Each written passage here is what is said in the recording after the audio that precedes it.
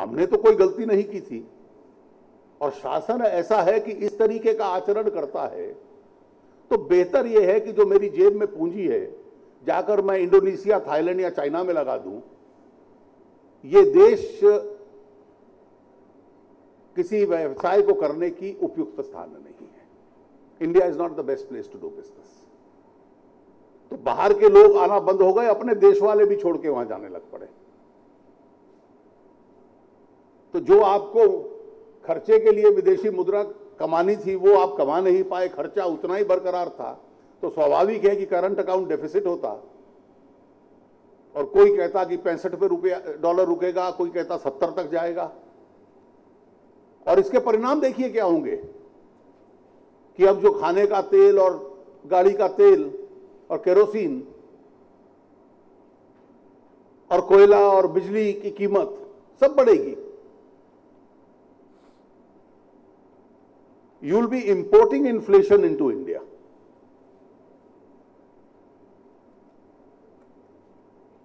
आपकी taxation policy ऐसी थी कि ऐसे उसमें भी कदम उठाए जिससे कि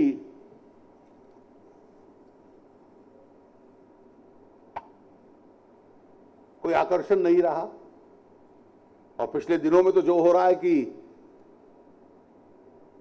हम वापस उन्नीस वाली हाई टैक्सेशन नीति पे जा रहे हैं जिससे हमारे देश के अंदर बनने वाला सामान फिर महँगा हो सकता है।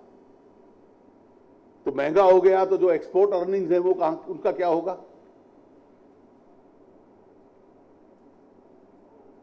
और मैं मानता हूँ कि देश के हित में कई विषय ऐसे हैं, राष्ट्रीय सुरक्षा का विषय है अर्थव्यवस्था अगर डॉलर गिर रहा है तो देश का, अगर रुपया गिर रहा है तो देश का गिर रहा है।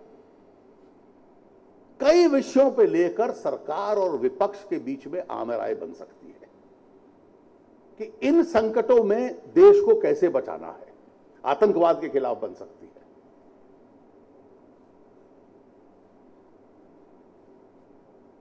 सरकार और विपक्ष के बीच में जो संबंध है, उसको तोड़ने का पूरा योगदान सरकार का था और दो कारणों से था। Breakdown of relationship between the government and the opposition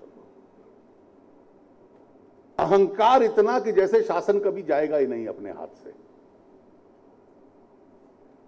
और सरकारी तंत्र में जाँच एजेंसीज द्वारा दुरुपयोग।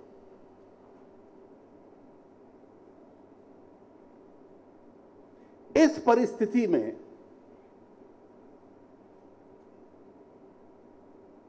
में से हम आज गुजर रहे हैं। और अगले छह महीने में कोई बहुत स्थिति सुधरने वाली है, इसकी संभावना मत समझें। अब इस देश का इकोनॉमिक मॉडल क्या होगा, उसको लेकर बड़ी वैचारिक बहस होती है।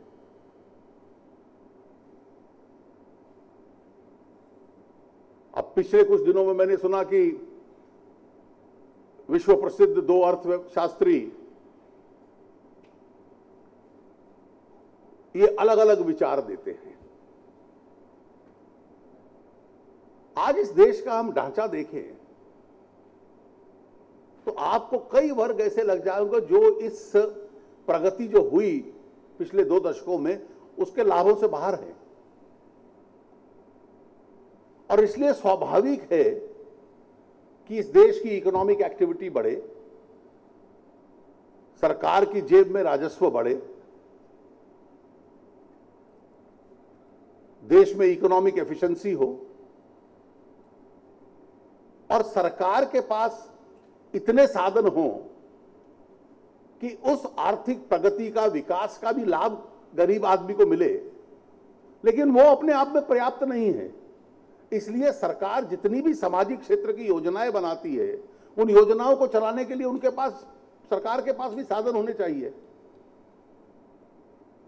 तो आपको आवश्यकता है एक अच्छे ग्रोथ रेट की, अच्छी इकोनॉमिक एक्टिविटी और ग्रोथ की, और उसका जो एक लाभ होगा, वो केवल एक वर्ग विशेष तक ना रह जाए, नीचे तक भी पहुँचे और सरकारी साधनों के माध्यम से आप, योजनाओं के माध्यम से नीचे तक पहुँचाने का एक प्रयास करें। मेरा यह मत है कि जब हम 2020 की तरफ़ देख रहे हैं, मैं दो क्षेत्र ऐसे मानता हूँ जिनको इस विकास का लाभ कम मिल रहा है। कई ऐसे वर्ग हैं, आरक्षण का लाभ मिला। उससे एक पीढ़ी को नौकरी मिली, अगली पीढ़ी आगे बढ़ी। कुछ लाभ मिला, अभी भी लाभ मिलना है। कुछ अन्य वर्ग कमज़ोर हैं। लेकिन हमारे देश के जो वनवासी क्षेत्र हैं, विशेष रूप से देश के मध्य में जो वनवासी क्षेत्र हैं ट्राइबल एरियाज़ हैं, उन तक अभी ये लाभ नहीं पहुँच पाए हैं। अगर समाज का सबसे उपेक्षित निग्लेक्टेड सेक्शन हम लोग देखें, कि ये जो साधन शक्ति है समाज की, उसका पहला अधिकार है तो उस क्षेत्र का है। और भौगोलिक दृष्टि से अगर इसको देखना है तो मुझे लगता है कि पूर्व उत्तर देश का बहुत महत्वपूर्ण एरिया है नॉर्थ ईस्ट। हमने देश में नेशनल हाईवेज बनाए। अटल जी ने जो ईस्ट वेस्ट कॉरिडोर था, उसको कहा कि नॉर्थ ईस्ट तक एक्सटेंड होगा कलकत्ते से आगे। गोल्डन कॉर्डोरेंगुलर कंप्लीट पूरा हो गया। नॉर्थ साउथ ईस्ट वेस्ट पूरा हो गया।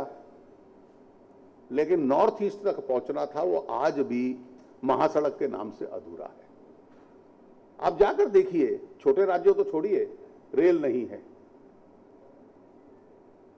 जहाँ है, वहाँ जो मांग 1950 और 60 के दशक में होती थी, कि इसको ब्रॉडगेज कर दीजिए। बराक वैली में चले जाइए, सबसे बड़ा विषय यही है। बांग्लादेश से जो इंटरफेरेंस ये जो इलीगल इमिग्रेशन आ रहा है, इसको रोकी है।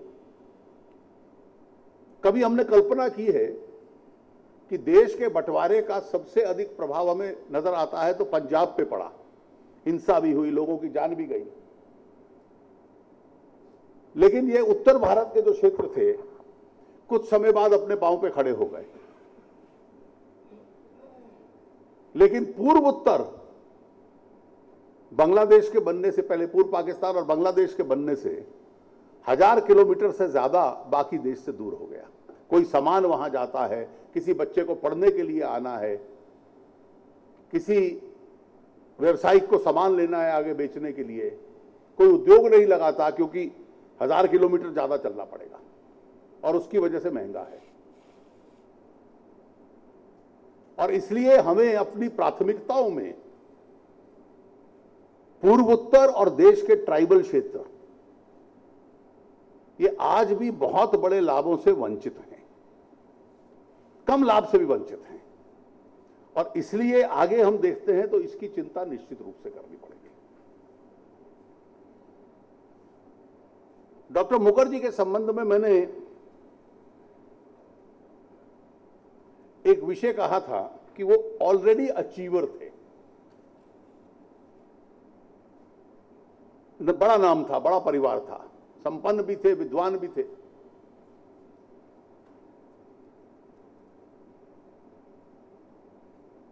इस विषय के साथ, इस चिंता को हम लोग जोड़ लें कि राजनीति में जिस प्रकार के लोग हैं, क्या उस स्तर को भी हमें सुधारना है 2020 तक या 2030 तक?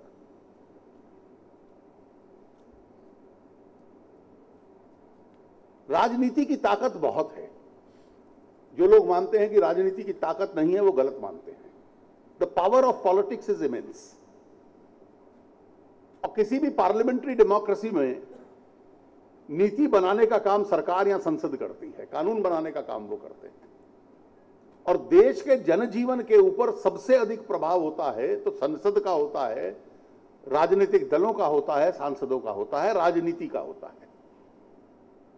बाकी लोग जो सिविल सोसाइटी में हैं, अन्य क्षेत्रों में हैं थिंक टैंक्स हैं, वो प्रभाव डाल सकते हैं प्रेशर ग्रुप्स बन सकते हैं, सुझाव दे सकते हैं विद्वान लोग, लेकिन नीति वहाँ बनती है। Politics impacts policy it impacts the life of a country और इसलिए राजनीति में आने वाले लोगों का कद, जितनी ताकत और अधिकार है राजनीति का, उसके अनुकूल होना चाहिए। It must measure up to the power of politics और इसलिए डॉक्टर मुखर्जी की अगर पृष्ठभूमि हम देखें, और आज के विषय देखें, कई बार समाज में जिन विषयों को लेकर चिंता है, और गुस्सा उस राजनीति के खिलाफ है, इसको हमें पहचानना पड़ेगा और विशेष रूप से हम राजनीतिक दलों को पहचानना पड़ेगा। ये जो हाल में निर्णय आए हैं, कानूनी दृष्टि से उन पर प्रश्न चिन्ह लग सकता है। एक आध निर्णय तो बहुत ही लागू किया जाए तो तकलीफ़ भी दे सकता है, कठिनाइयाँ पैदा करेगा, उसका दुरुपयोग भी हो सकता है। लेकिन आँखें बंद करके हर एक को बदल देना देश के राजनीतिक वर्ग को इसकी चिंता करनी पड़ेगी। केवल कानून की बारीकियों से न देखें, क्योंकि उसके पीछे पूरे राष्ट्र की राजनीति को, स्तर को सुधारने की भी एक भावना छुपी हुई है ये जो पूरा भ्रष्टाचार के खिलाफ आंदोलन हुआ और उसके बाद लोकपाल पे बहस हुई। आज अगर हम देखें इन सारे भ्रष्टाचारों के मूल क्षेत्र क्या क्या हैं? पहले हमें लगता था और मुझे भी बहुत मासूमी में लगता था कि सन उन्नीस सौ इक्यानवे में जब लाइसेंस राज समाप्त हो गया तो अब लाइसेंस की ज़रूरत नहीं है, इसलिए भ्रष्टाचार कम हो जाएगा। लाइसेंस लेने में भ्रष्टाचार नहीं है अब, क्योंकि लाइसेंस है नहीं। लेकिन भ्रष्टाचार के जो क्षेत्र थे वो अलग अलग हो गए। ज़मीन land land related permissions land related exploitation आज पूरे देश के अंदर इसके साथ एक प्रश्न चिन्ह लगा हुआ है। माइनिंग सरकार जो प्राकृतिक साधनों की मालिक है, चाहे गैस हो, चाहे मिनरल हो, चाहे कोला हो, चाहे स्पेक्ट्रम हो, उसका जो आवंटन करती है उसके आवंटन में जो भ्रष्टाचार है, वो तो कभी भी लाइसेंसिंग में नहीं था। उसकी जितना मैग्नीट्यूड बड़ा है, और इसलिए जो मनमानी करना डिस्क्रिशन करना, इसको समाप्त किया जाए। ये एक विषय है। शिक्षा के क्षेत्र में, ये जो सुप्रीम कोर्ट का जजमेंट आया है मेडिकल कॉलेजेस के संबंध में, इसका जो परिणाम होगा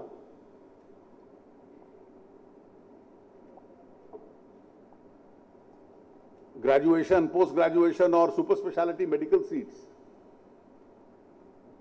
अब वो लाखों में नहीं होंगी। करोड़ों में उसका खर्च होगा। और जिसको चाहिए होगा, उसका परिवार 20 साल पहले से उसकी तैयारी शुरू करेगा। लोकपाल पे काफ़ी हद तक एक आम राय बन गई सिलेक्ट कमेटी में, लेकिन तीन सत्र निकल गए आज तक उसको। आगे नहीं लाए। मुझे लगता है जब 2020 की यात्रा हमें पूरी करनी है तो आर्थिक विषयों के साथ इन विषयों पे भी चिंता समाज में हमें करनी पड़ेगी। जम्मू कश्मीर, उसको अलग अस्तित्व देना अपने आप में ऐतिहासिक गलती थी।